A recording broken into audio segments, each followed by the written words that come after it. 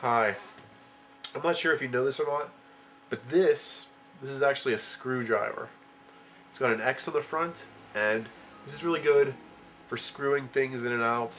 And it's very it works really well. It's very good.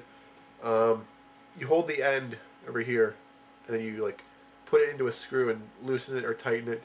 It's very very useful for putting up paintings and pictures and what whatnot. And there you go. That's a screwdriver. There you go. Thank you for your time.